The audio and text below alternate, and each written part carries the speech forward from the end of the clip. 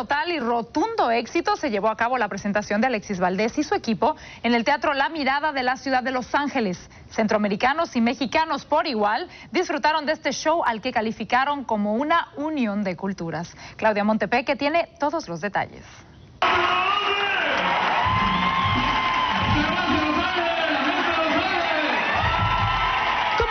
Grande fue recibido por la comunidad angelina Alexis Valdés y su elenco. Fabuloso, inesperado, sorprendente, eh, alucinante, eh, energizante, todos los adjetivos buenos, todo lo positivo.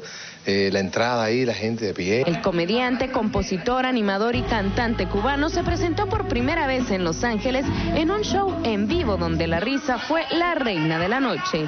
Cristino, Mónico Pino y Magdalena también hicieron de las suyas.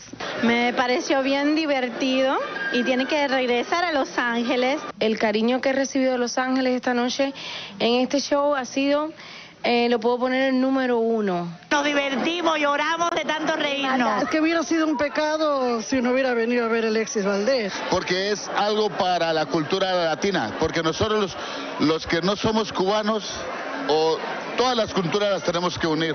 Fue sorprendente el apoyo de su audiencia que noche a noche lo sigue a través de la pantalla con el programa de Esta Noche Tonight, show que Alexis conduce para nuestra televisora Mega TV.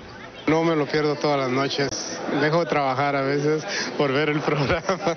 Lo veo a las 6 y lo vuelvo a ver a las 10.